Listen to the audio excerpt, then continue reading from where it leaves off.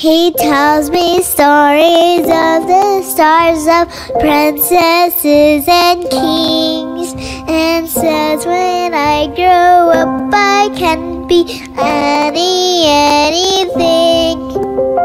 We share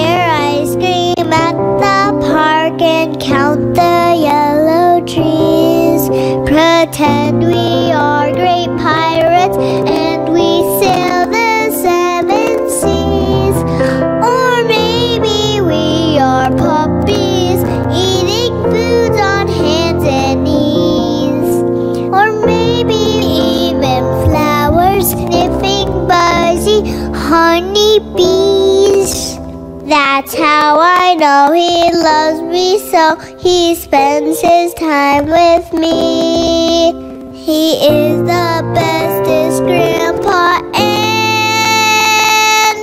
he will forever be.